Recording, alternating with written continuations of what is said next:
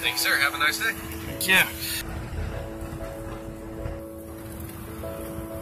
It is a beautiful, beautiful Tuesday morning out here in Amelia Island, guys. Today is Tuesday, May the 1st, 2018, and come Thursday, I'm going to have to start setting up for the festival. And right after that, I'm probably immediately going to have to leave to go back to Tennessee. So this is pretty close to the last day I'm going to have a chance to show you guys this. I really wanted to show you all this. I know I've done a lot of historic things recently, and it may be getting boring for some of you, but uh, the most historic thing out here on Amelia Island is this old fort called Fort Clinch. Hard to say because the word fort and the word clinch kind of run together when you say it fast. Fort Clinch. The fort has a history that goes back to 1847 uh, over 100 years ago, and its own history reaches about, what is that, 98 years? So it started all the way back in the Civil War, and it had active military use all the way up until World War II, when it served as a outpost for horseback riders to monitor the beach for the landing of spies.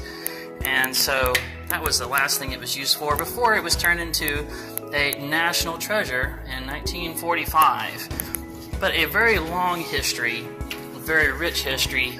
And it is right through this door right here, and we're going to go out and see that soon. But before I do, they do have a museum here with a few things I would like to show you guys. First off, here is a replica of a Gatling gun. I think it might be a replica. Actually, these this looks pretty intricate for a replica. This might have actually been an active gun at one point. At any rate, uh, it was created by a Dr. Richards Gatlin, or Gatling, in uh, 1861. Now, you would think it's kind of odd for a doctor to invent a rapid fire gun like this, uh, being as they are beholden to something called the Hippocratic Oath, where they do not willingly cause harm to anyone. Uh, but this doctor actually believed that a really effective weapon like this could make a battle much shorter and the outcome determined a lot quicker and therefore save lives. It's a little weird, his reasoning on that, but at any rate, we have the father of the modern machine gun here, the Gatling gun. Right here, you can see all the different size cannonballs that were fired from different artilleries in the fort throughout the years. This one right here is the most interesting to me because it's hollow in the middle, making it break up. I'm, i think that might be called a mortar when it's done like that. But that's something you can see in a lot of these cases. You got uh, cannonball, hollow cannonball fragments here, and and then again over here. So that must have been something they used quite a bit. We got some actual clothing worn by some of the soldiers here, and this is something that always amazes me in these museums is how fine the penmanship was back then. The written language was not so flippant. It was something that was really meant to be taken seriously and uh, for people to be able to understand it when they read it. We've got an old bone saw doctor's kit right here. Now, these things were, I don't know if they really saved lives as much as they really put lives at risk with all the, uh, the insanitary practices they had back then. Then right through this room here where this rather noisy video keeps playing on a loop, uh, against this wall, we've got another example of just how seriously they took their penmanship back then with this list of uh, sergeants. And you can see just how fine that pen, penmanship was. Got a few uh, photos here from back when the fort was in its heyday and was uh, well armed. Here is probably the best visualization of uh, the of the fort. And with that, let's go on out and have a look at the real thing.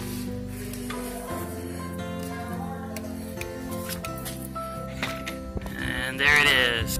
First thing you see when going into the tunnel that takes you into the, the fort are these, these sharp barricades. With these in place, it was impossible for a big troop to just line up and do a charge when these things were, were set up.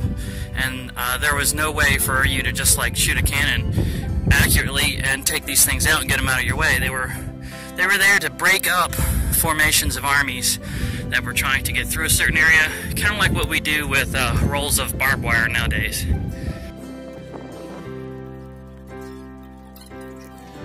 Alright, through the tunnel, into the middle of the fort now. Each one of these buildings is set up in a different way. I think one of them's an armory, one of them's a prison, one of them is a mess hall. I'm just going to have to go into them one by one and let you guys see everything they've got here. The first one I'm going into, it looks like it's some kind of barracks. Uh, probably going to be a lot of these out here. I mean, they had a lot of soldiers. But dude, this, this looks barbaric. Man, look at these mattresses. I think they're full of straw. Well, you would have had to really have a lifetime of learning how to get comfortable and, and sleep on these things to really get any kind of good night's sleep on them. I mean, hard boards with a thin layer of straw. Times were rough back then. This next building looks like some kind of cooking area, and uh, there's even ashes here, like they must have done a live demonstration at some point. Kind of disappointed I missed that. There's your brick oven there.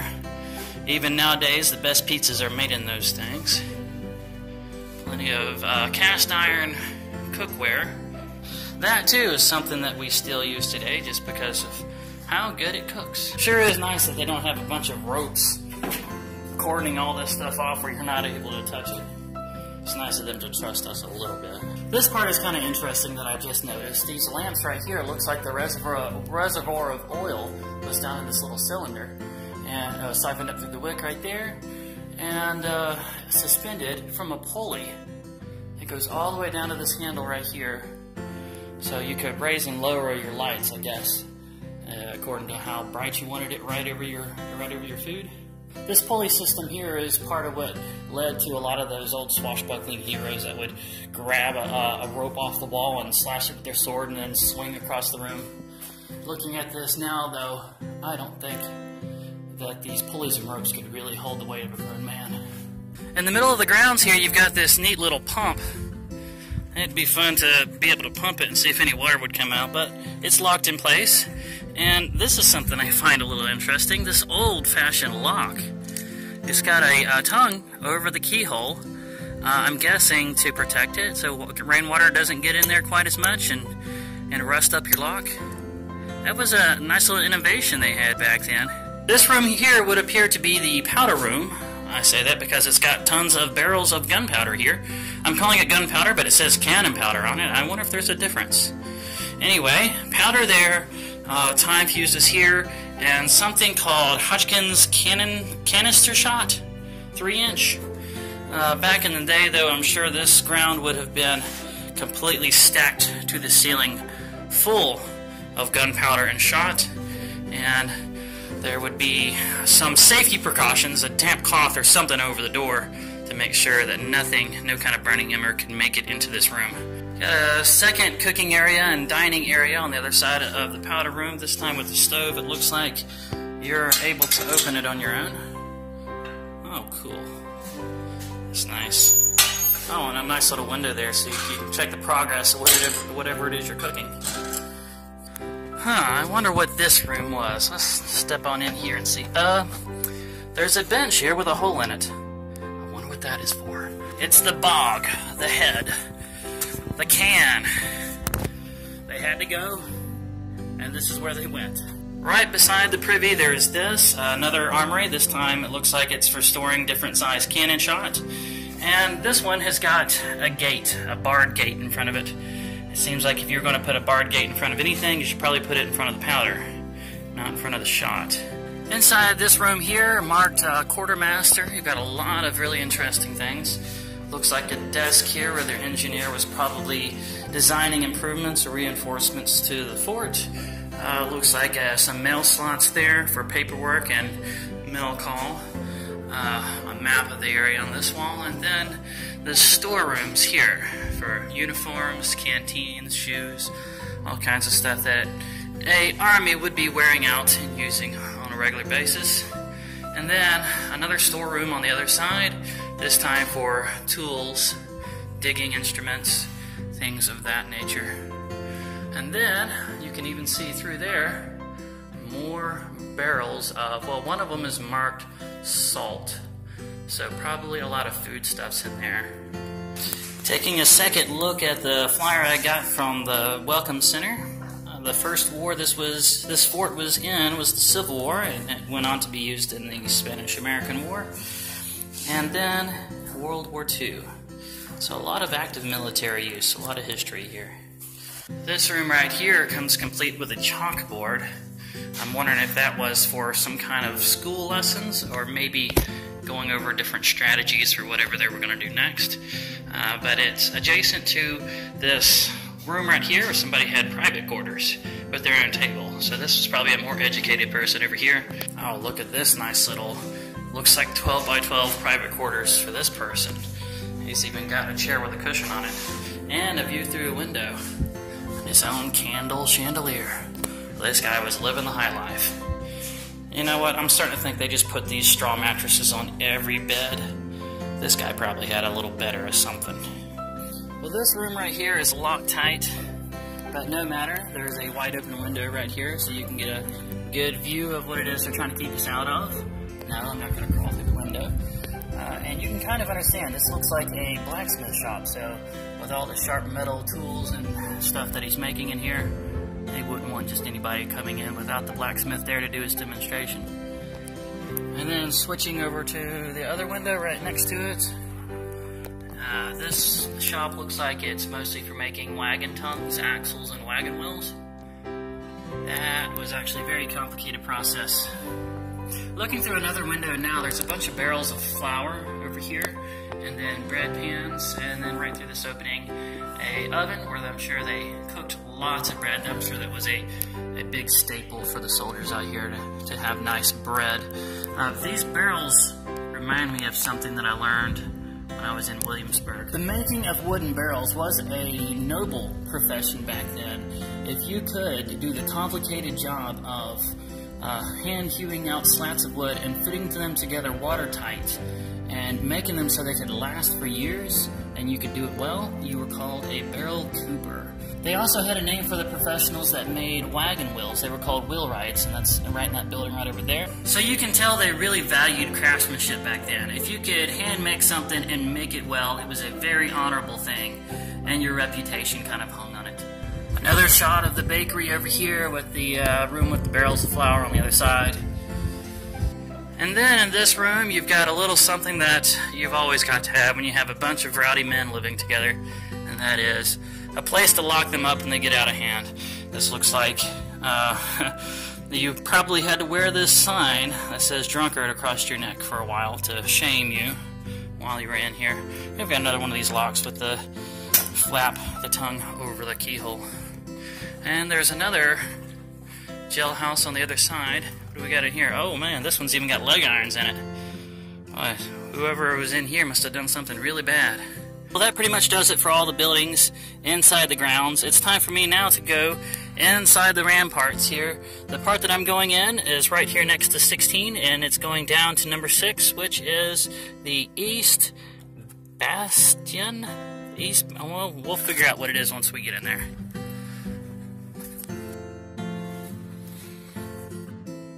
So this is what a bastion is. It's a place where you can put cannons sticking through the walls and fire at your enemies. Of course, during the heat of battle, this is probably about the most miserable place to be in the world. But that doesn't interest me quite as much as this spiral staircase going up in this narrow passage here. I have got to go up there and see what's up there.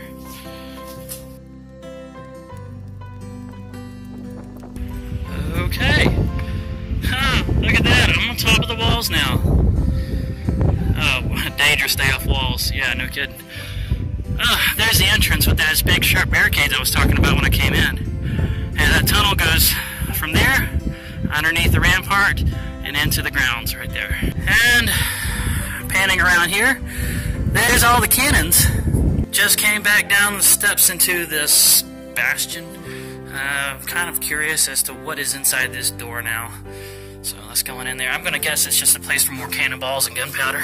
It's just a big brick room. Probably was a place to store more gunpowder and cannonballs. Oh, and look at this. Going back out, instead of going down the tunnel, you can make a turn here and go out onto the rampart. go up these stairs and go sit on the cannon. So let's go do that. And just like that, I'm sitting on one of the cannons. Looking at it from this side though, it's actually a lot more complicated than it looks. Because they've got a crescent shaped track right here with a bunch of numbers on it that probably correspond with the compass degrees for helping them aim at ships coming in. And there are a lot more metal tracks than there are cannons out here. If you can imagine back in the day, every single one of these tracks mounted with a cannon like this one, and then trying to be a two or three mast ship trying to make it into port and invade this, this fort, you would have had a fight on your hands. It's actually pretty cool going through these tunnels. I'm betting this was the desired place to be during those hot summer days to, out here in your military uniform. Because in these tunnels, you kind of take advantage of the, the temperature of the earth packed in around the bricks. It's the same reason why it's always cool inside of a cave.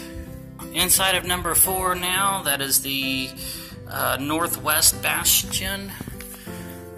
Uh, it looks pretty much the same as the other one, only without all the cannons here. Um, to the right side of the room, there is a window here going out to this ancient 18th century extension cord and scaffolding. Actually looks a lot like the ones we use in our construction nowadays. At any rate, this one also comes with its own narrow corridor with spiral staircase. So I'm going to go on up there, the top of this wall as well. Ah, okay, now this one's got a mount for a cannon right here that could go 360 degrees. This must have been a really deadly one right here. Of course, why would you want to shoot back at your own guys anyway? Whatever, the option was there if they wanted it. I'm going out the tunnel of the fort now, guys. That's going to be it for today, but there is one last thing I wanted to show you guys. On my way out, I noticed that this fort actually did have a drawbridge. I'm not sure exactly how it was drawn up, uh, the chain attaches right there, goes up to this axle here, and you can see a sprocket over there, and the chain coming down to this area right here.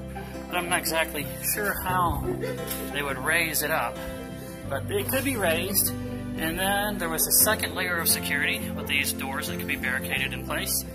So when they decided to lock it down, they could lock it down good. Like I said, this might be my last chance to really do anything fun out here in Florida before I have to get real busy this weekend and then head straight back to Tennessee. So I figured, why not jump in the ocean one last time? Hey, I've already paid admission to this nice state park out here, so I'm at Atlantic Beach. I'm gonna go enjoy this nice salt water.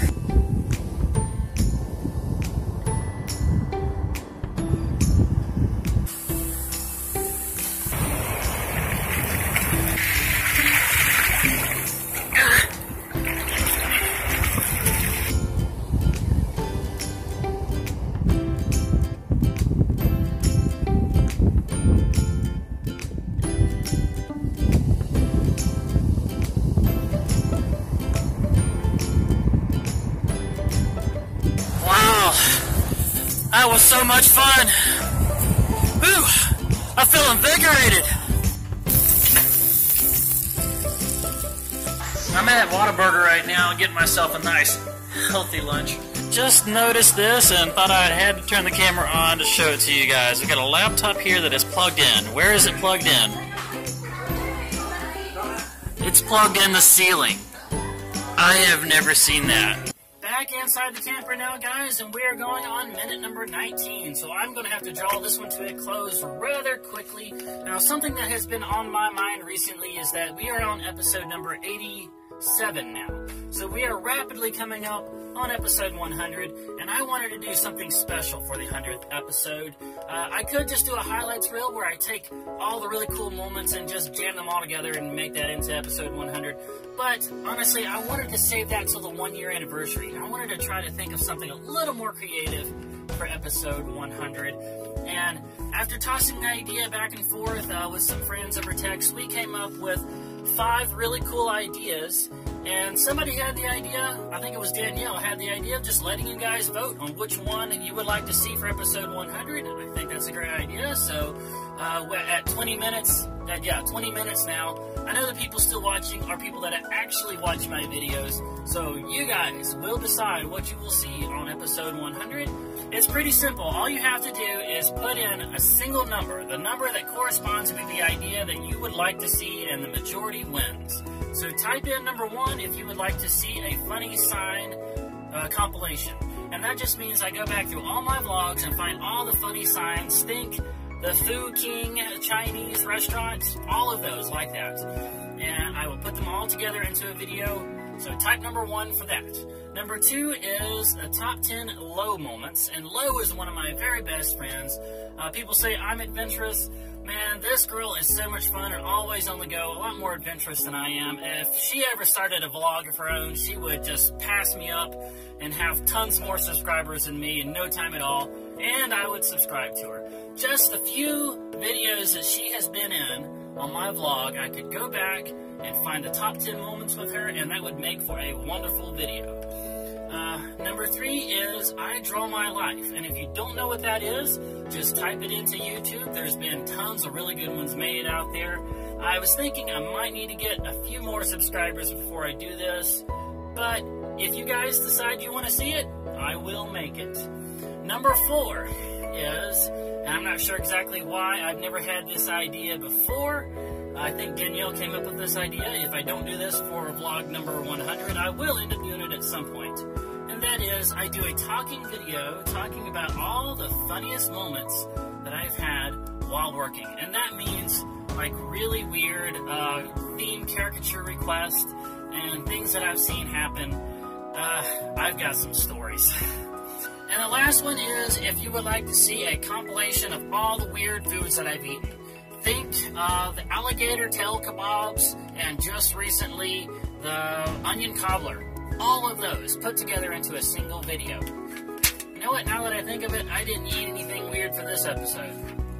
Whatever. So that's it, you guys. One, two, three, four, or five. You decide what you want to see for episode 100 that is it. I love you guys. Don't forget to hit that thumbs up.